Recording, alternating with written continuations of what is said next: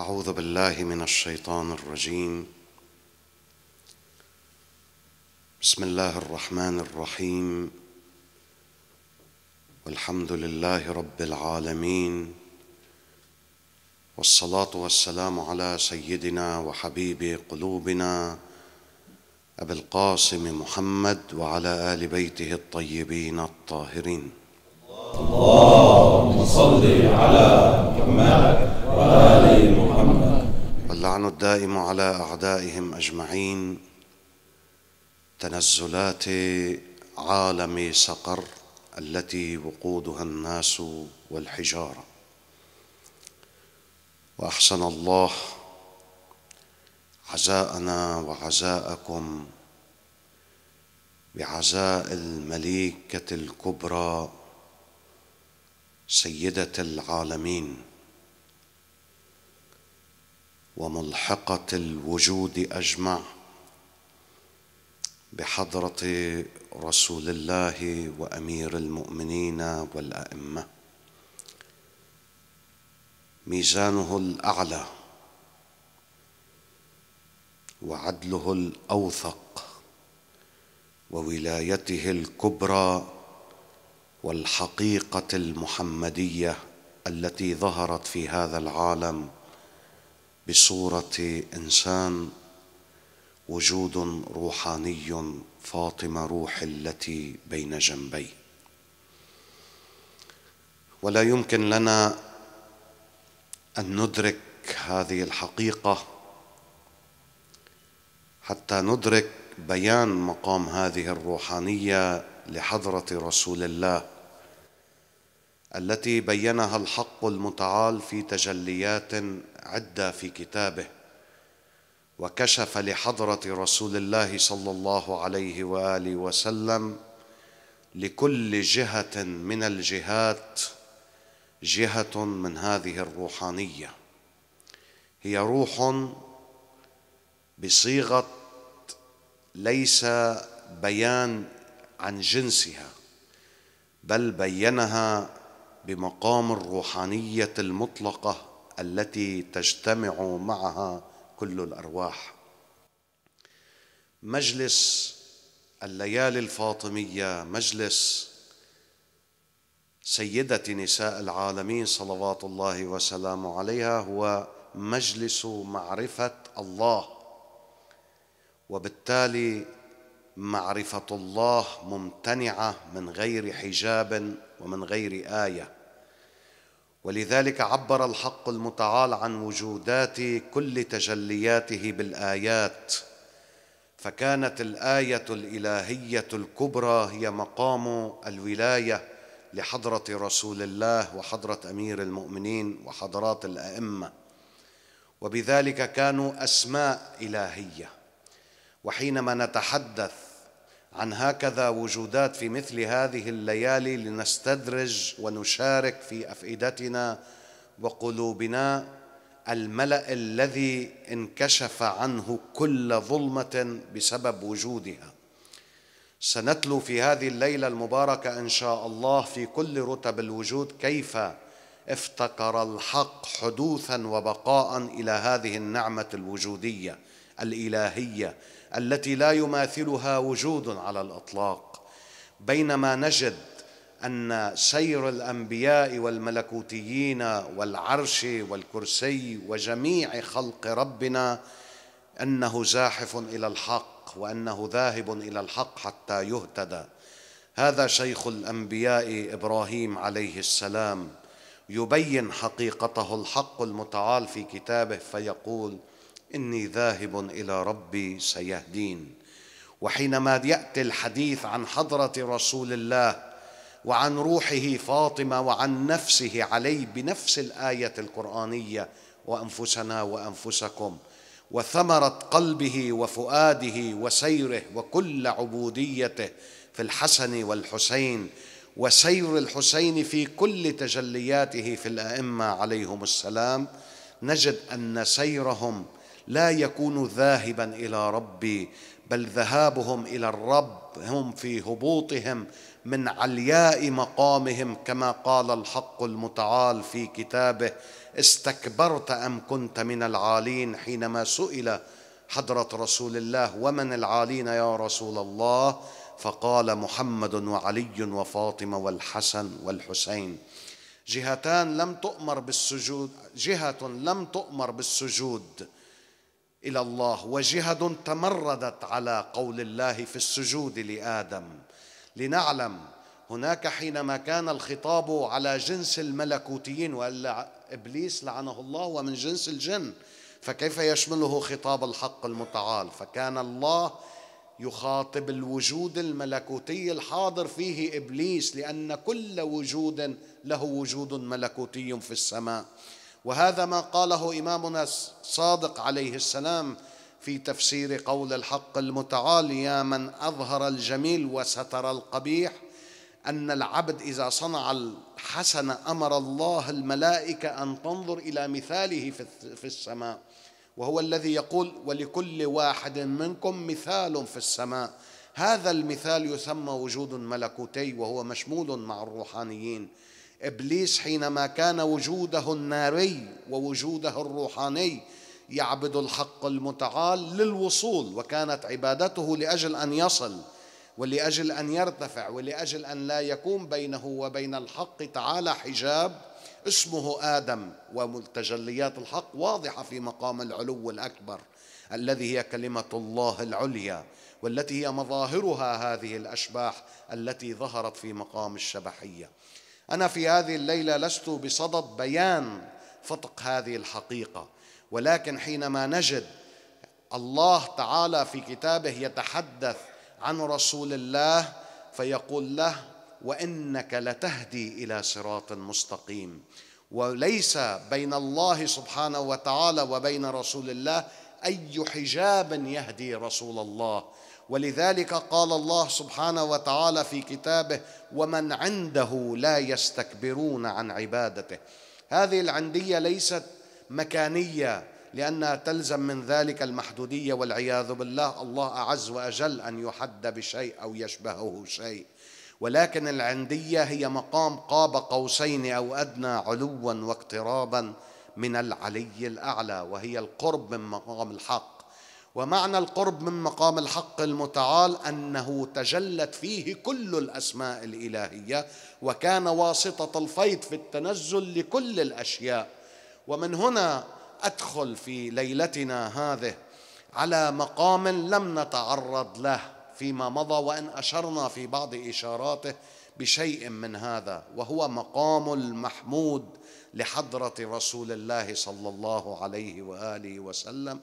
الذي أمر العالمين أن يسالوا الله أن يعطي محمدا صلى الله عليه وآله وسلم المقام المحمود.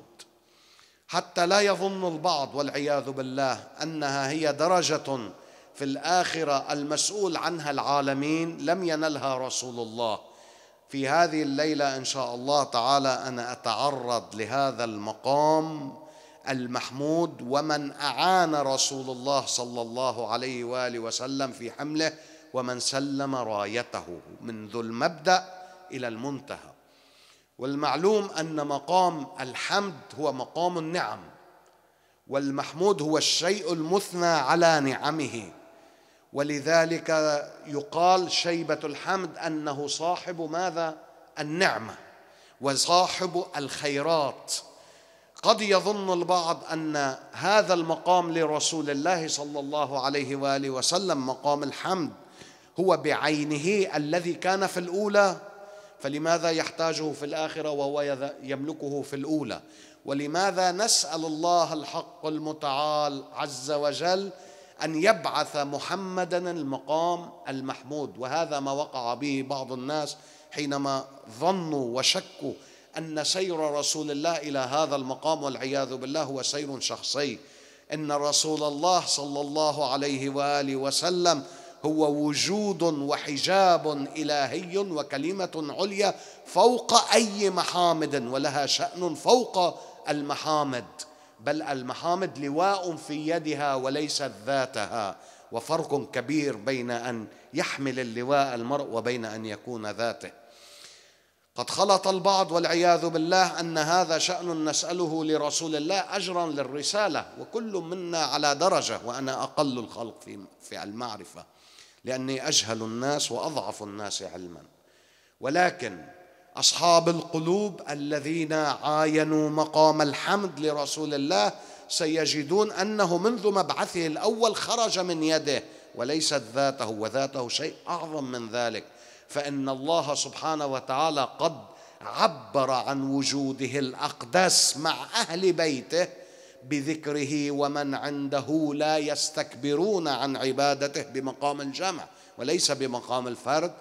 دليل أنه فوق النعم فوق الأشياء التي يمكن أن تتصور لأن من يكون عند الله سبحانه وتعالى تتجلى فيه كل الصفات الإلهية.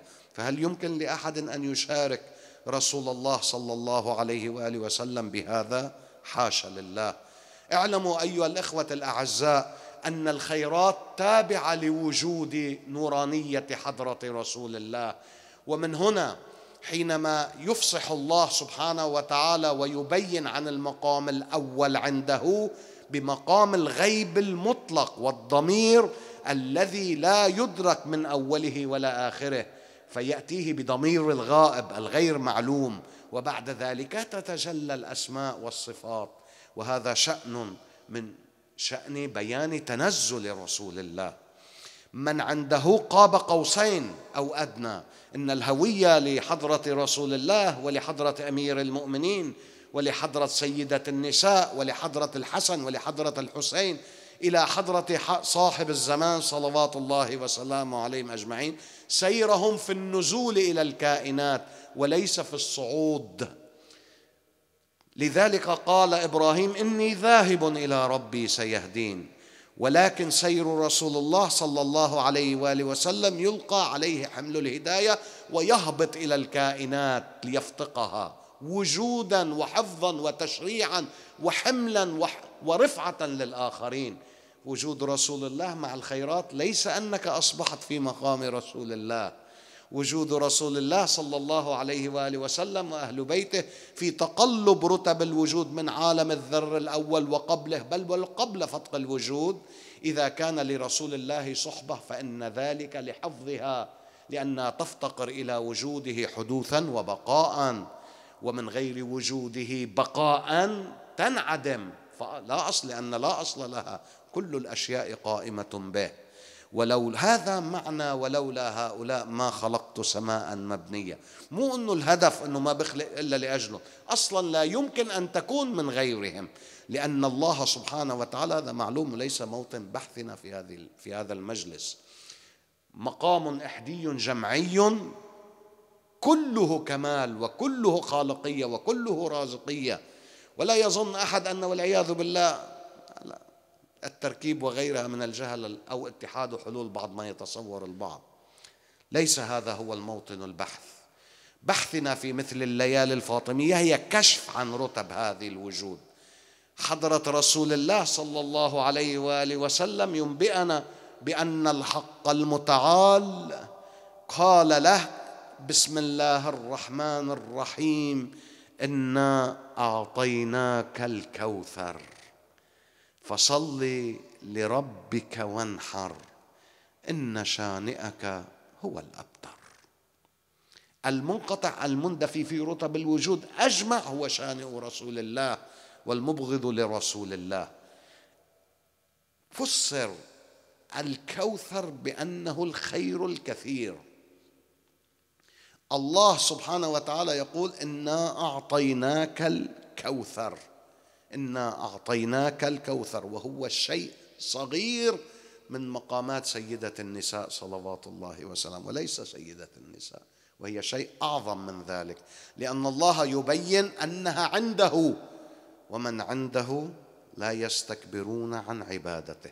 أنا اليوم بحط شوية نقاط معلش يمكن بعض المقدمات ما بينتها لكن اوجه كلامي لبعض الإخوان الذين يلتفتون إن شاء الله. بذلك. هذا الكوثر كيف كشف عنه حضرة رسول الله صلى الله عليه وآله وسلم؟ في سؤال انظروا أيها الأخوة الأعزاء في سؤال جابر بن عبد الله حينما سأل حضرة رسول الله صلى الله عليه وآله وسلم ما هو أول شيء خلقه الله تعالى؟ قال يا جابر أول من خلق الله نور نبيكم ومنه خلق كل خير. كل شيء في الوجود ما دون محمد وآله صلوات الله عليهم أجمعين هو خير. سنرى أنه إذا كان خيرا لنا أصل وجود العرش هو خيرات لأنكم أنتم تحتاجون إلى ظهور مقام التدبير. لا بد وأن يكون هناك عرش. أنتم تحتاجون إلى وجود عون ملكوتي خلق من هذا النور هذا الملكوت. أنتم تحتاجون إلى هذا السير في النزول والصعود. خلق الأرض. ورد عندنا في الروايات وخلق الأرض لأجل لأجل سبعة. منهم سلمان رضوان الله تعالى عليه. إذا سلمان طلع له الأرض فكيف بالعوالم الأخرى؟ منهم إن لله عز وجل إثنى عشر ألف عالم كل عالم يقول عنه الإمام الصادق عليه السلام أكبر من السماوات والأرض وجميعا يدينون لنا بالولاية. مو حسبالك أنه أنت فقط ومع شوية عشيرة وشوية عرب وعجم يعني تفكر أنك طويت الدنيا كلها. لا مو هيك. نحن الكرة الأرضية ما بتطلع حب كل 23 أرض لتطلع حبة تراب في مجرة درب التبانة. اليوم علماء الفلك يقولون هناك مليارات من الأفلاك كدرب التبانة. نحن لا نستطيع ومما يعرشون ومما يعرشون. لا نستطيع أن نتخيل ما هو خلف الأرض. لا نستطيع أن نتخيل أي وجه من الوجوه لا جابلقة ولا جابرسة لا يمكن لنا أن نتخيل ما هو البعد المعنوي بل فضلا البعد المادي نحن لا ندرك. نحن لا ندرك ما في أجواف بطوننا. فكيف نستطيع أن ندرك حكمة هذا العالم؟ من من من أفضل نعم الله عز وجل أننا دعانا إلى طاعة رسوله وطاعة أهل بيته. وشارك قلوبنا قلوب الأنبياء والمرسلين والملكوتيين. يعني ما تكبر الخس كثير براس البعض. بيفكر حاله محمد وأنا يعني نفس الشيء. المقام المحمود هذا سنتحدث به في ليلتنا من مبعثه الأول إلى نهايته الأخرى. كيف يناله رسول الله؟ ليش سألناه أن يبعثنا مع المقام المحمود؟ أن يبعثنا الله مع المقام المحمود أو يجعلنا مع المقام المحمود؟ المقام المحمود هو النعم التي خرجت من محمد وليس مقام محمد لأن هي الخير.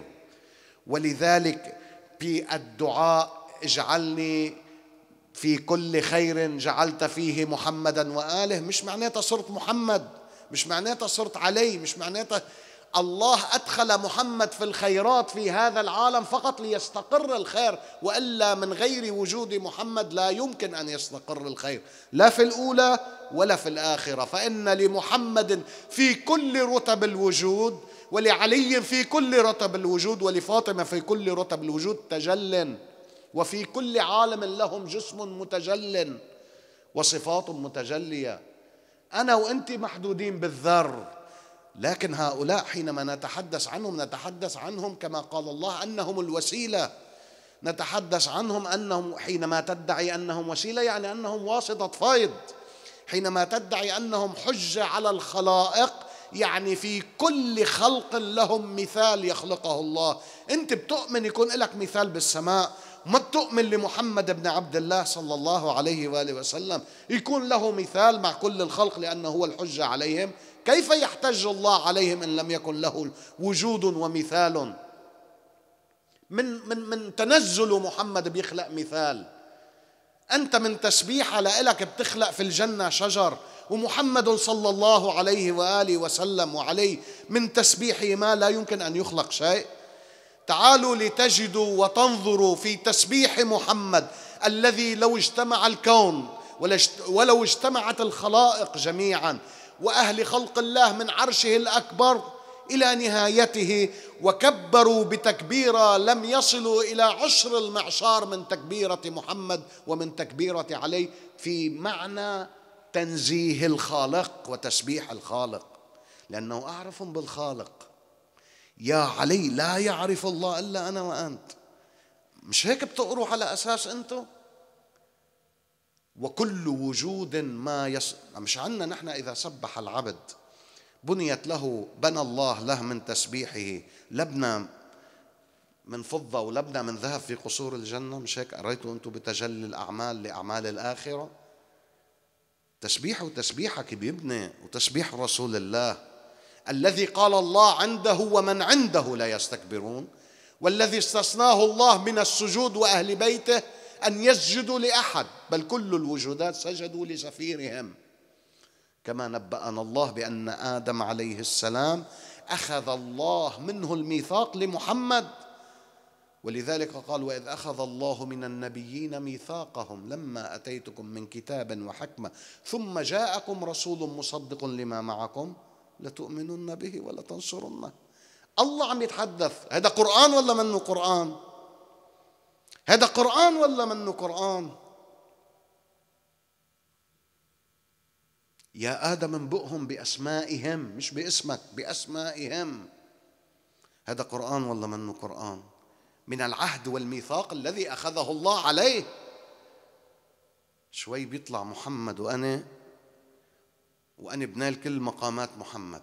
هذا حكي أشبه بالمش لا يرد عليه أصلا ولا يلتفت إليه. حينما يدخلك الله سبحانه وتعالى في كل خير أدخل فيه محمد مش عم يدخلك لمحمد. الله أدخل الخير في محمد حتى يحافظ عليه ويبقيه بتعرف شو هو الخير؟ العرش خير الكرسي خير المطر خير السماء خير الملائكة خير منازل السماوات خير وتدرجها الأرض خير البرزخ خير الآزفة خير الآفكة خير الأحقاب خير الأعراف خير الحشر خير القيامة خير الجنة خير. الله أدخل فيه محمد لتستقر بنعل محمد هذه الوجودات كلها. مو أنه أنت صرت محمد.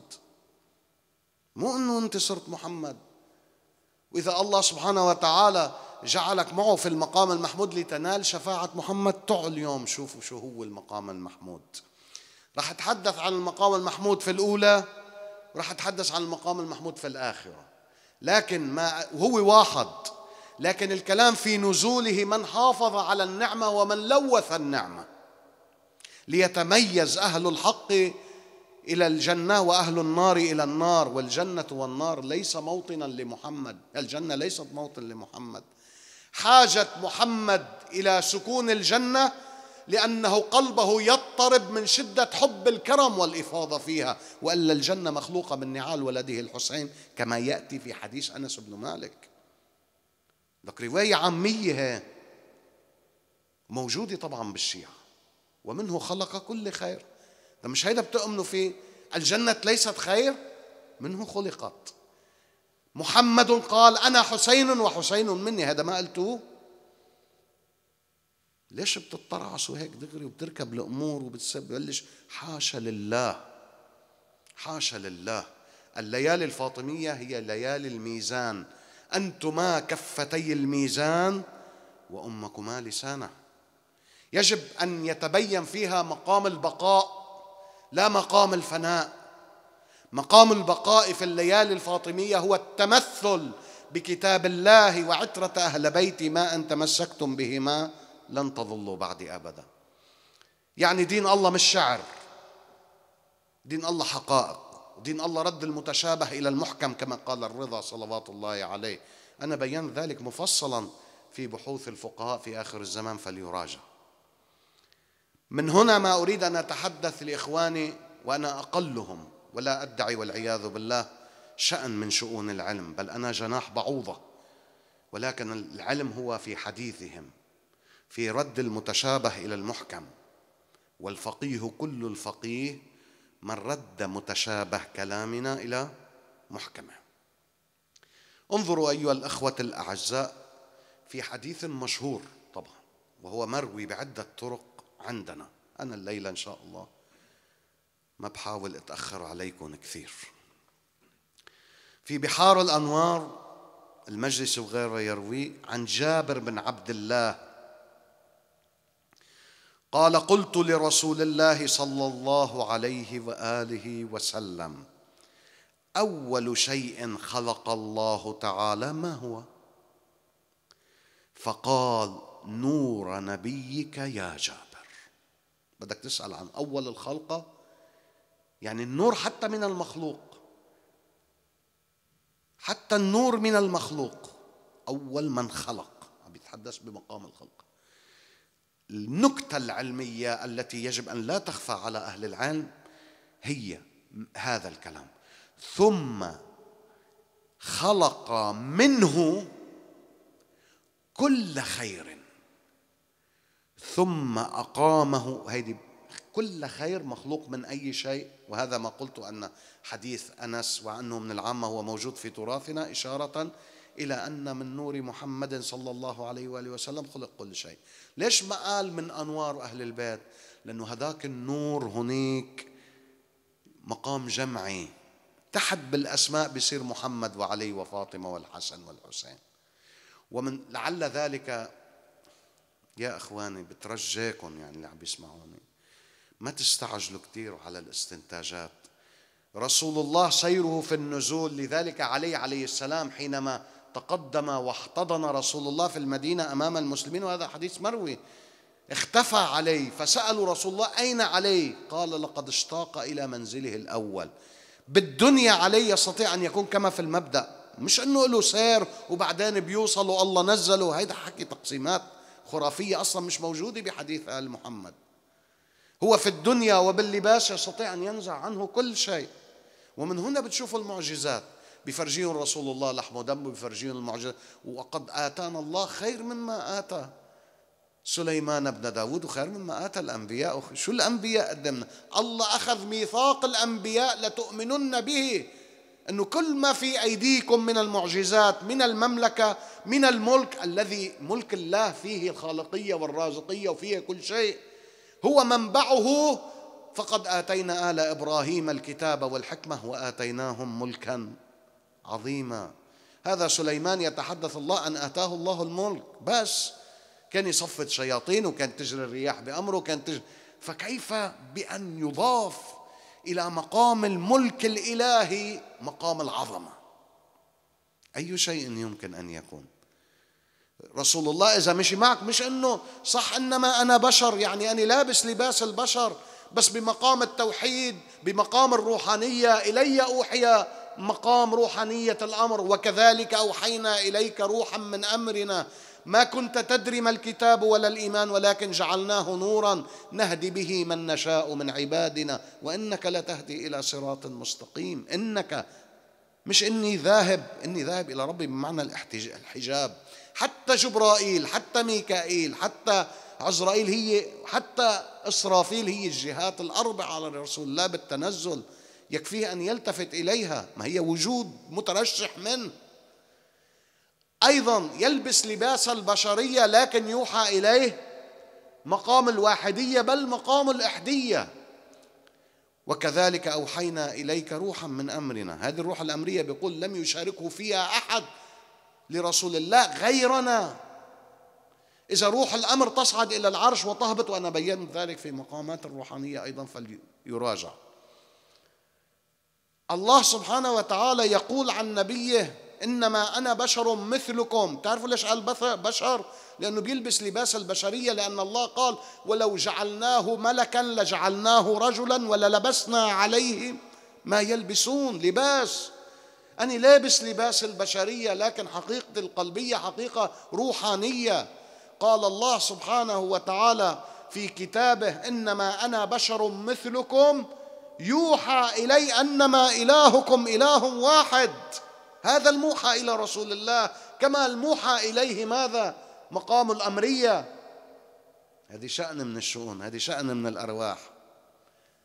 لأن لا يمكن لشيء أن يتحرك في الوجود. مش الأرض لساخت الحجة. لو رفع الحجة قدمه عن الأرض لساخت. الوجود كله بسويخ أليس جميعا حتى عند عنوان أهل العامة أن الله حينما خلق العرش لم يستقر حتى كتب عليه اسم محمد وعلي وفاطمة والحسن والحسين؟ إذا له تجلي. كل ما في ألو... حتى الأنبياء. حتى الأنبياء أنا تلوت لكم وإذ أخذ الله ميثاق النبيين. أليس هم من قالوا أوروا الصافات؟ اجعلنا مسلمين اجعلنا من المسلمين اجعلنا. أليسوا كلهم لجميع لانتساب لمحمد صلى الله عليه وآله؟ والإمام الباقر يقول والإسلام هو التسليم لنا. هذا الحجاب الأول. بيشرق على الأنبياء بقلب نوراني بيشرق عليك بقلب بدني. إنا معاشر الأنبياء لا نكلم الناس إلا على قدر عقولهم. مش إذا تنزل محمد لعندك تفكر أنت محمد صرت واحد. هيدي يجب أن تفهم أو أهل بيته. مش إذا نزل عانك وتمثل لأنك إلك سير أنت بالعلم وأنت إلك سير بالعبادة وأنت إلك سير بالجهاد مش إذا حمل سيف الإمام صرت أنا وياه نفس الشيء. هذا عون لإلك. أدخلنا في كل خير أدخلت فيه محمدا صلى الله عليه وآله وسلم. الخير اللي أدخل فيه محمد ليحفظ الخير مش ليمشي فيه محمد أو يرثه محمد. ما هو منه خرج. وهذا معنى ومنه خلق كل خير. واضحة الأمور. ولذلك الإمام سلام الله عليه يقول التشبه بنا كفر. عشرات الروايات بذلك. لأن دعوة والعياذ بالله بابية الحق الله لم يجعلها لنبي ولا لولي ولم يجعلها لملكوت. أليس هذا جبرائيل يقول ولو تقدمت بخطوة لاحترقت أجنحتي فزج في بالنور؟ هل أتحدي أنا يا رسول الله؟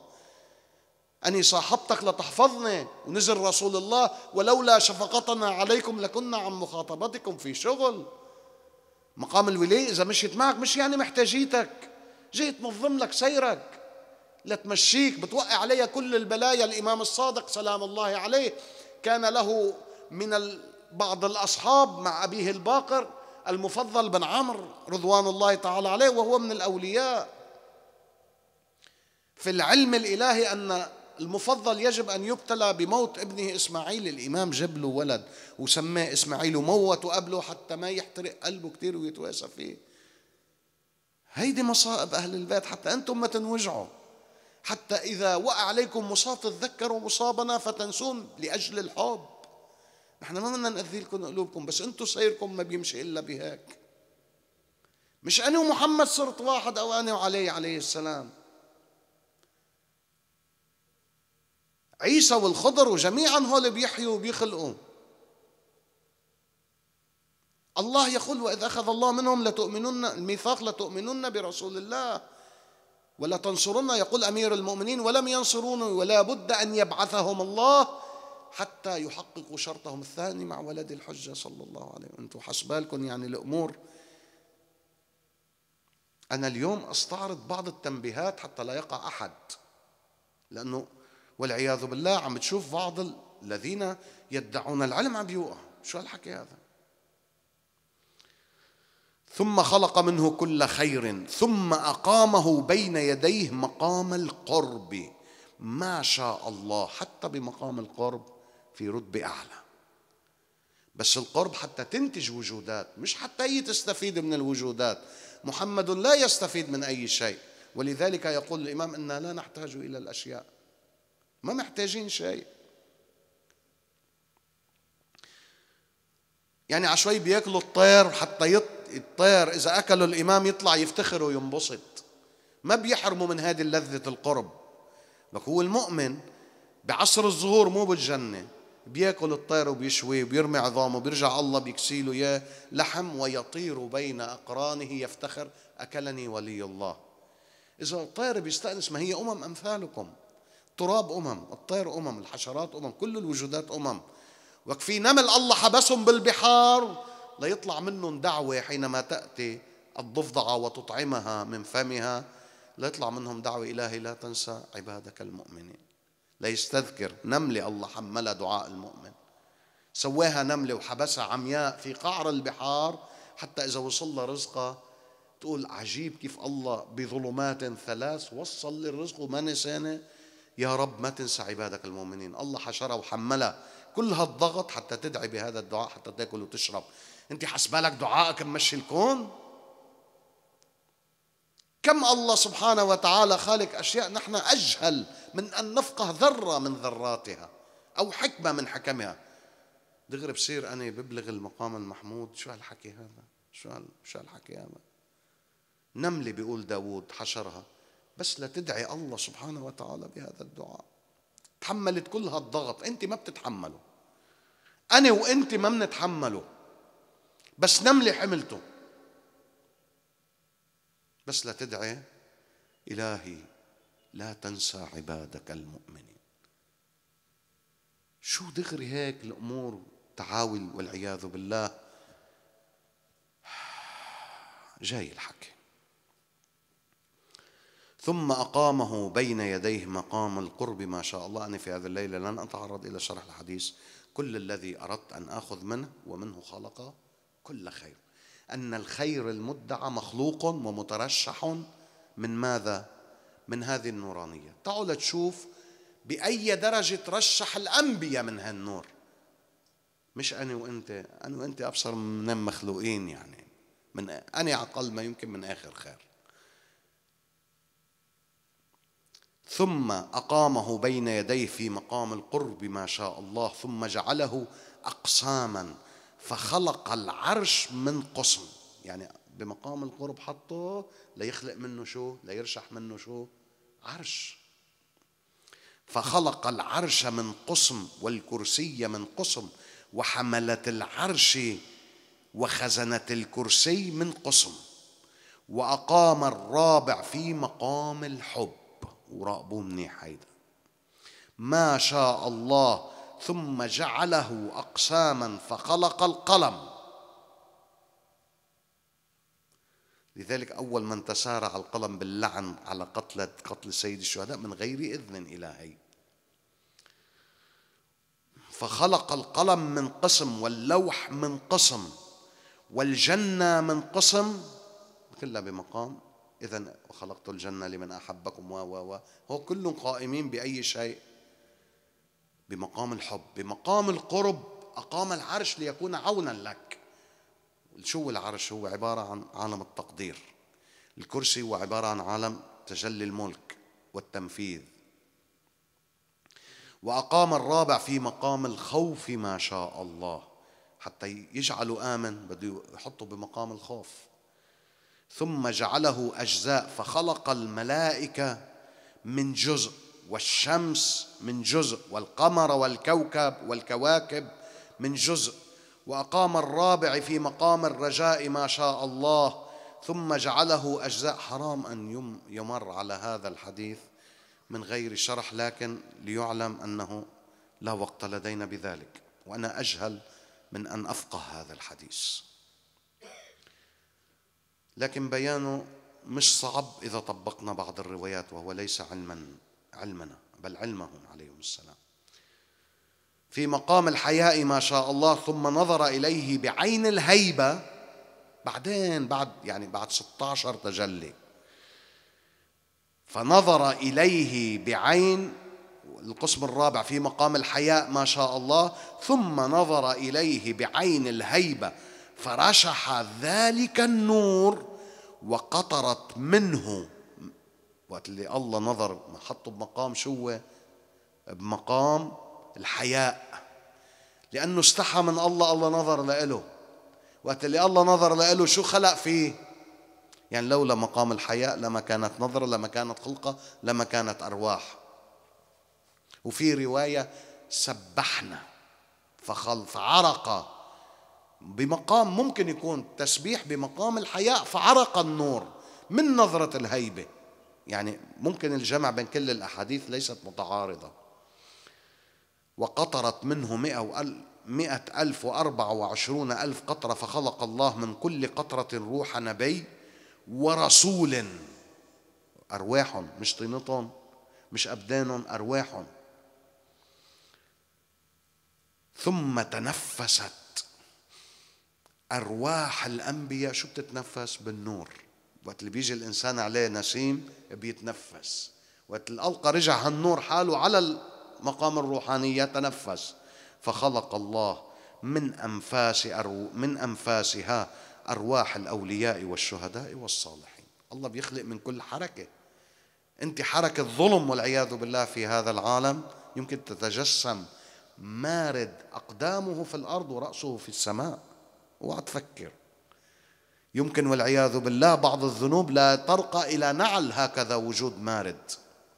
خاصة ظلم أئمتنا والافتراء عليهم والافتراء على أوليائهم الصادقين طبعا. الصادقين الذين يأخذون بكتاب الله وعترة أهل بيتي إذا المعية مع رسول الله أن نحشر في مقام يشفع لنا رسول الله. انظروا أيها الأخوة الأعزاء بتأويل الآيات عن أنس بن مالك يذكر حديث عن حضرة رسول الله صلى الله عليه وآله وسلم فيقول قال صلى بنا رسول الله صلى الله عليه وآله وسلم في بعض الأيام صلاة الفجر ثم أقبل علينا بوجهه الكريم فقال له يا رسول الله إن رأيت أن تفسر لنا قوله تعالى أولئك مع الذين أنعم الله عليهم من النبيين والصديقين والشهداء والصالحين وحسن أولئك رفيقا. هذه آية بالقرآن فسرنا يا رسول الله. يعني بعض الناس بيطلع معهم إيه ما الله بحطهم بيت واحد عشوائي. أو واحد بيقول لك يلا ما كل ما اشتغلت للنبي بتعمر له بيت حرام النبي خطي يعني عشوائي.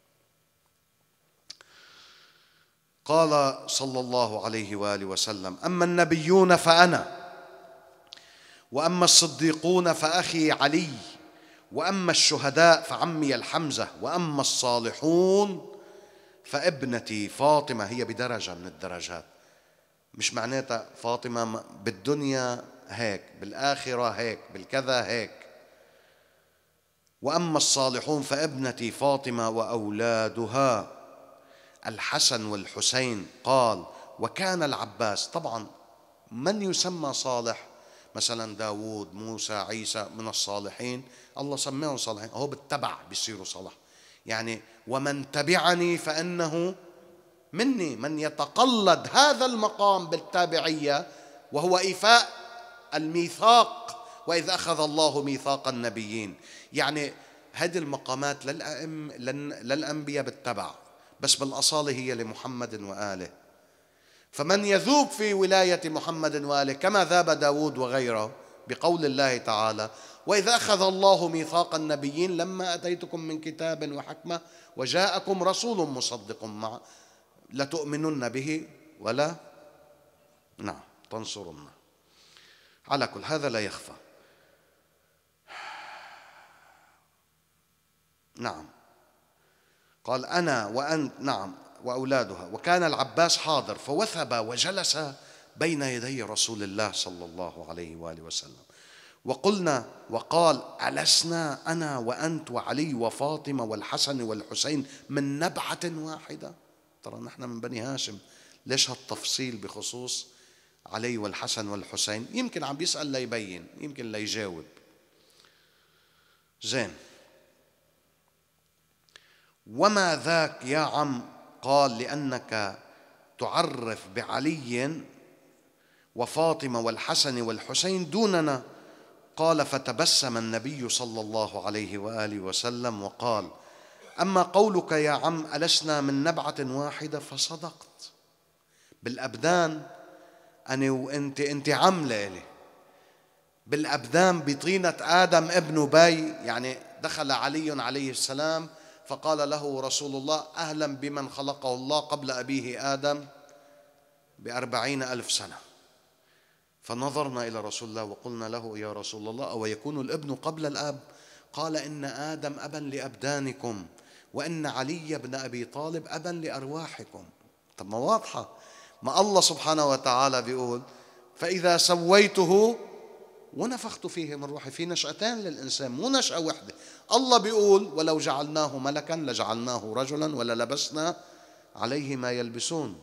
الله بيتحدث عن الأبدان أنها لباس. طب شو المشكلة إذا كان أب الروحانية؟ ما نحن اعتبرنا أنه منه خلق كل خير. إذا الروايات ليست متعارضة. الروايات تتحدث كلها بنشأة من النشآت يعني لو واحد ما التفت إلى مقام الروحانية لقال إيه كيف يكون الإبن قبل الأبي ما أنتم بتقولوا إبن آدم. ابنه البدني ولكن علي عليه السلام أب روحاني. هون هيك قال له رسول الله صلى الله عليه وآله وسلم. ولكن يا عم إن الله خلقني وخلق عليا وفاطمة والحسن والحسين قبل أن يخلق الله آدم. إذا هو عم يتحدث له بلباس وشأن روحاني مش شأن مادي. انت عم تتحدث بالبدنية إيه أن انت عم وأنا ونحن وإياك من نبعة واحدة لكن بالروحانية لست أنا وأنت من نبعة واحدة. الذي يكون في النبعة الواحدة هو من؟ هو من كان أصله عنده ومن عنده لا يستكبرون عن عبادته. نعم. قبل أن يخلق الله آدم حين لا سماء مبنية ولا أرض مدحية ولا ظلمة ولا نور ولا شمس ولا قمر ولا جنة ولا نار فقال العباس فكيف كان بدء خلقكم يا رسول الله؟ فقال يا عم لما أراد الله أن يخلق يخلقنا تكلم بكلمة خلق منها نورا ثم تكلم بكلمة أخرى فخلق منها روحا ثم مرج النور بالروح لأنه لا يقوم أحدهما بغير الآخر بمقام التنزل لأن الوجودات ما بتستطيع أن تستسقى من كلمة جامعة تحتاج إلى مقام الروحانية فأنزل روح. وعشان هيك صار في الروحانيين. لمد إبراهيم نظروا إليهم قال اللهم اجعلني من شيعته فأنزل الله وأن من شيعته لإبراهيم وكذلك لنري إبراهيم ملكوت السماوات والأرض وليكون من الموقنين. زين. ثم مزج النور بالروح. يعني التنزل هو ضعف في المخلوق. ضعف في المخلوق الذي يريد أن يوالي محمد إلى أضعف شيء وهي مشاركته في البدنية. مش معناتها إنه صار محمد بدل مثلي مثله. فخلقني وخلق علي بعد ما مزج النور بالروح. خلق ساعتها شيء اسمه محمد وعلي وفاط إذا هم بالتنزل الثالث. والحسن والحسين فكنا نسبحه حين لا تسبيح ونقدسه حين لا تقديس فلما أراد الله ما في تقديس كان لأنه شو بدها تقدس؟ ما هو بيقدس بالحجاب قبل الحجاب في هو. ولذلك سماه الله عبده ورسوله. عادة التقديس بالأسماء. وكيف تقدسها؟ بتنزهها. عرفتوا علي كيف؟ يعني مش ما في تقديس ما في ما في قصدي شيء لازم تخرجوا عن النقص لأنه شايفينه صورة تامة. لا تشتبه ترى بتمامها ترى بعيانها فلذلك تتوجه إليها. فلما أراد الله تعالى أن ينشئ الصنعة فتق نوري فخلق منه العرش فالعرش من نوري ونوري من نور الله عز وجل. هذا الخير. أدخلنا أدخل الوجود كله في في كل خير أدخل فيه محمد. ونوري أفضل من العرش ثم فتق نور أخي علي فخلق منه الملائكة. فالملائكة من نور علي ونور علي من نور الله وعلي أفضل من الملائكة. ملائكة لأن حتى تدبر أمر حتى تتنزل حتى تستغفر للذين يعصون حتى حتى إلى غير ذلك. فإذا هي بمنزل من يفتقر إلى الاستغفار بمنزل من يفتقر إلى الوجودات. يعني بالتنزل صار. بالكلمة الأولى هي كلمة جامعة. ثم فتق نور ابنتي فاطمة فخلق منه السماوات والأرض وابنتي فاطمة. نعم فالسماوات والأرض من نور ابنتي فاطمة. طبعا الله هو الخالق. مثل ما أنت وقت بتسبح وبيخلق لك قصر بالجنة من تسبيحك أو قربك. ما الله هو الخالق. كل شيء قريب لله بيظهر جمال. وكل شيء بعيد عن الله بيظهر ألم. هيدا القرب القرب مش دخان وخيال وغيمة ديروا بالكم. يعني بعض الناس والعياذ بالله بصير يستحضر له شوية فضاء راح بفكر حاله عايش مع الله. لا هذا التراخي. قد ينزل عليك أكبر ضغط وتكون أكثر إنسان قريب لله. قد ينزل عليك راحة وخشوع في الصلاة ويكون إبليس مورثك الخشوع. هذا بيناه مفصلا. من نور ابنتي فاطمة ونور ابنتي فاطمة من نور الله. وابنتي فاطمة أفضل من السماوات والأرض. ثم فتق نور ولدي الحسن وخلق منه الشمس والقمر فالشمس والقمر من نور ولدي الحسن ونور الحسن من نور الله والحسن أفضل من الشمس والقمر. ثم فتق نور ولدي الحسين فخلق منه الجنة والحور العين. لذلك أنا قلت في أول حديثي أن رسول الله مش بيعطي الله بالجنة الجنة مخلوقة منه. حاجة رسول الله أن يبذل كرمه للمؤمنين لأنه نفس فياضة بالكرم سجيتكم الكرم. مش أنه النبي محتاج لقصور الجنة ما هي مخلوقة من نعله.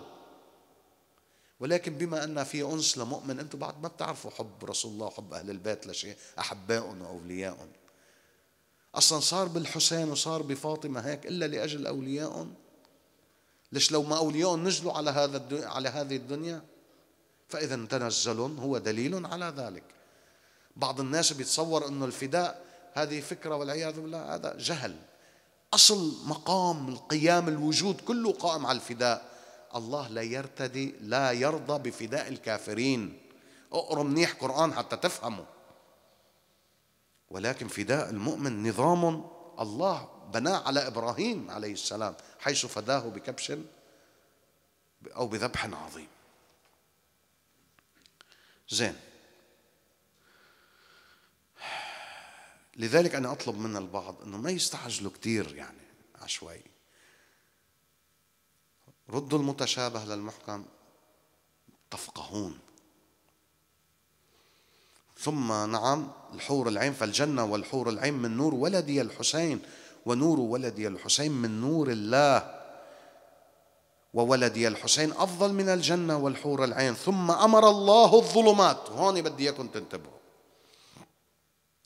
ثم بعد ما خلق هذه الرتب أمر الله الظلمات عز وجل أن تمر على سحائب القطر فأظلمت السماوات على الملائكة فضجت الملائكة بالتسبيح والتقديس وقالت إلهنا إلهنا وسيدنا مذ خلقتنا وعرفتنا هذه الأشباح. الخلقة وعرفتنا هذه الأشباح.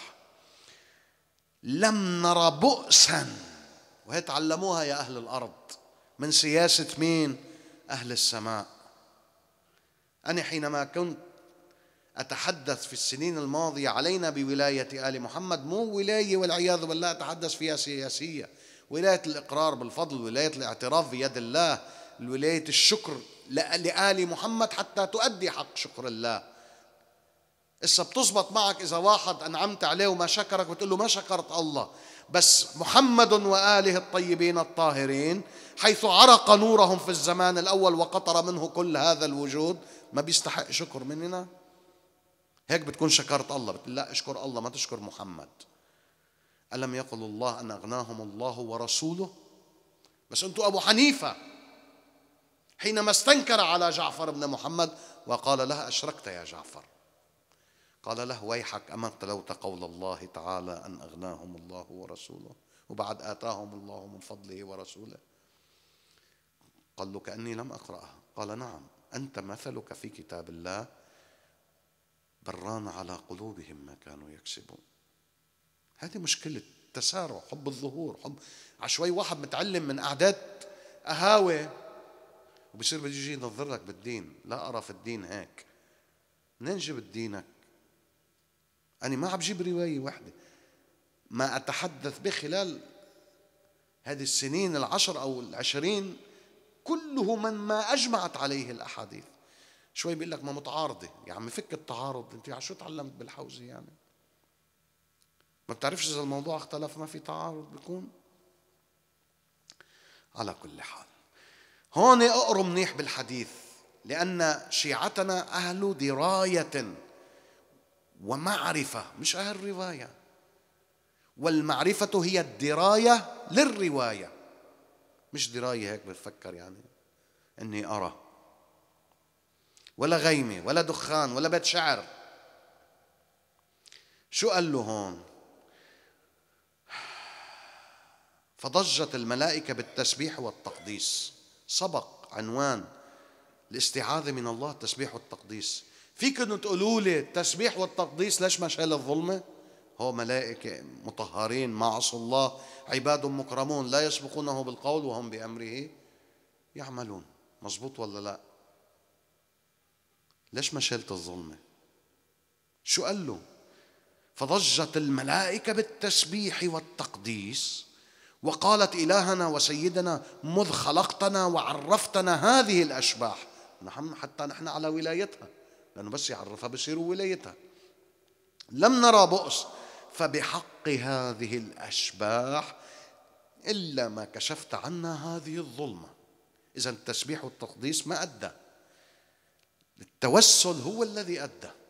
لأنه في عجز تكويني في قصور تكويني عن أداء حق التسبيح وحق التقديس. كيف بيزبط؟ فبحق هذه الأشباح بيزبط. هذا معنى اتخذوا إلى ربكم. أنت بتعرف الله؟ أنت بتفكر الله دخان وغيمة شوي بالسماء هي اللي بتشتي عملها الله بذهنك أو فضاء أو شوية تخيل نجوم. حاشا لله لا يشبهه شيء ولا يشبه الأشياء. كل شيء تراه في تتصوره صورة مخلوقة لك وليست بإله. نعم بعض الناس بيحطوا حالهم بأماكن واسعة حتى يقدروا يحكوا مع الله. هيدا شيء والغيمة شيء تاني أن تكون الله. راقبوا راقبوا يا أخوان رح تشوفوها كلها هيك. إلا ما كشفت عنا هذه الظلمة شو سوى الله؟ فأخرج الله من نور ابنتي فاطمة قناديل وهذا معنى اللي قلته أدخلنا في كل خير أدخلت فيه محمدا وآل محمد معناتها دخوله بالخير افتقاره الدائم هذا الخير إلى ولاية آل محمد. مش معناتها أنه صرت محمد.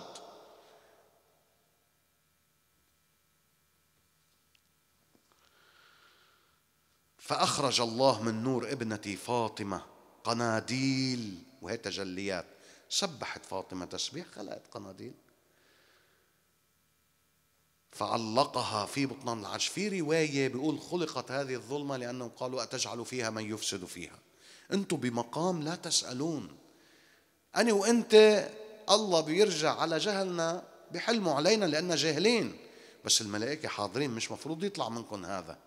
هيدي الظلمة التسبيح والاستغفار ما شالها ما شالها تحتاج إلى نعل فاطمة.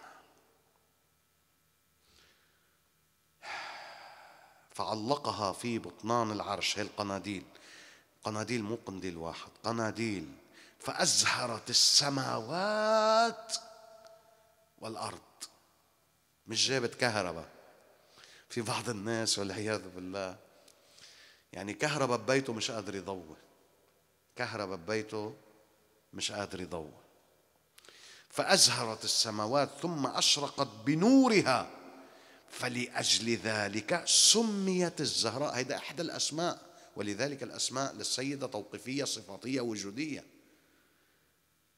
لأنه أزهرت السماوات والأرض. ما هي دار خلق منها. أسكنت فيها عبادها من الملائكة والنبيين والمرسلين والناس حتى يجتازوا ويطلعوا. الجنة والنار إلي وإلك والسماوات والأرض إلي وإلك. نزل محمد رأفة به حتى لا تستوحش. وليؤدي فاتورة. ليدفع الحسين صلوات الله وسلام عليكم كبش الفداء عن العالمين. لتظهر مظاهر العدل من غير فداء أصلا. لا يمكن أن يستقر ملكوت. هيدي فاطمة. ما فادتهم بتسبيحة. هلا نحن الله بيقول خلق منها قناديل. بس عرفنا شو كلفت القناديل؟ ما كلها فواتير مسجلة. رفسة الباب و... و... حتى الواحد يفهم شو اللي جرى على آل بيت الأحزان. ما هي فواتير عم تدفعها لمحمد لأنه زعيم الوجود محمد وهي عينها على محمد. ما بدها تتعب محمد. محمد إذا بينطر وبيوقف بالمحشر وبيجي بالأيام لأجلك وإذا بيجي بالقبر لأجلك القبر مش لإله والأيام مش لإله والجنة مش لإله والحساب مش لإله. رح تشوفوه بالمقام المحمود. نزل حتى أنت ما تستوحش حتى تستأنس حتى تتلقى ويمكن يكون شخص واحد كما كان إبراهيم هو الأمة. وجاي الحديث غدا إن شاء الله عن الأمة. أنتم فكركم عشق أهل البيت مثل بخيالكم ما بتقدروا تتصوروا محبتهم لعبيدهم. بخيالكم. بس نحن مثلنا مثل الأعراب بنروح بنطلب حاجات دنيوية. في شي واحد وقف وقال له سيدي نفسي خربانة. خذ كل شيء بس زبط لي إياها. نحن نروح نطلب جاهاتنا وحاجاتنا وكل شيء وبزين كثار من الأعراب كانوا يجوا.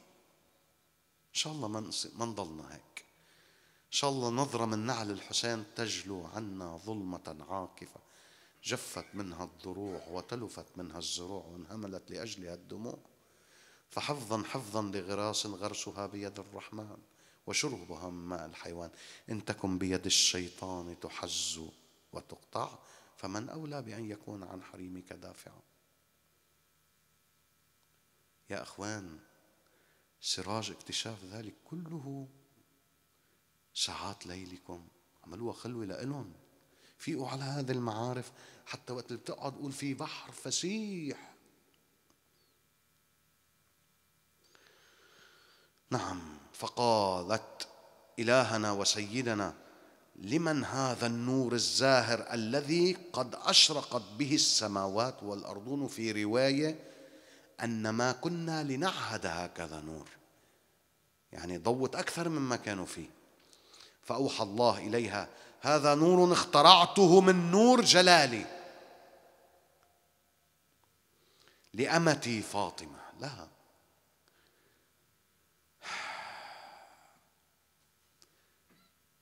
لذلك وقت بتعرف هيك حقائق وفي فاتورة بدها تندفع ما بيطلع بعض الجهال بيقول ليش علي قاعد بالبيت؟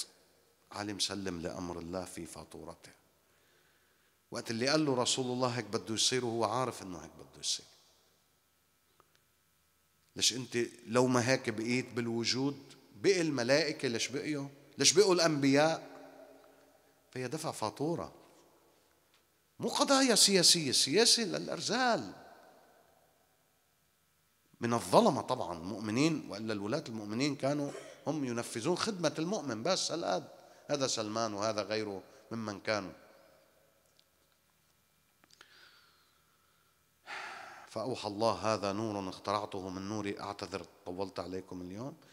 من نور جلالي لأمتي فاطمة ابنة حبيبي وزوجة ولي وأخ نبيي وأبي حججي على عبادي.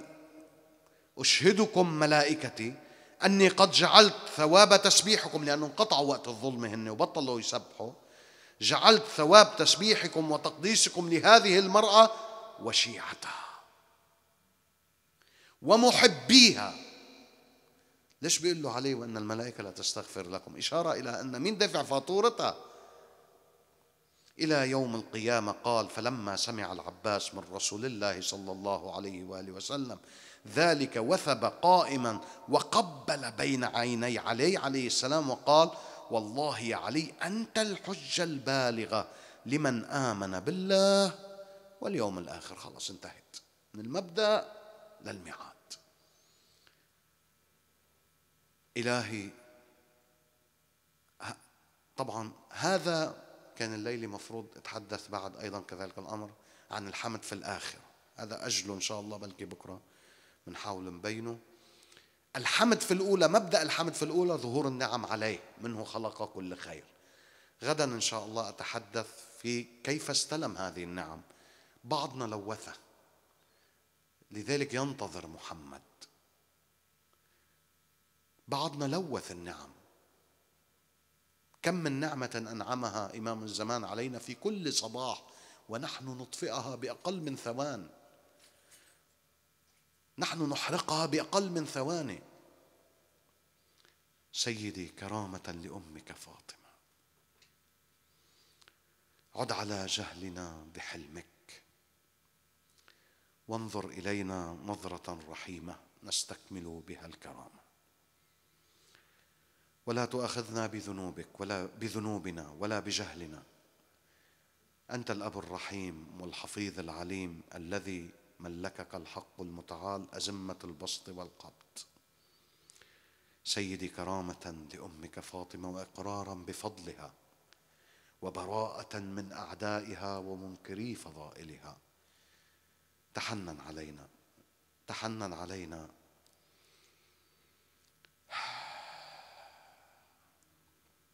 واكرمنا فإن نعلم أن أسعد شيء على قلبك ذكر أمك فاطمة. هذا الحسين استنقذ الحر بن يزيد الرياحي من قعر جهنم بكلمة عن فاطمة بكلمة كلمة. قال يا حسين لا أستطيع أن أتحدث عن أمك بسوء. كلمة كانت كفيلة الحسين يشيله ويعمل ولي الله.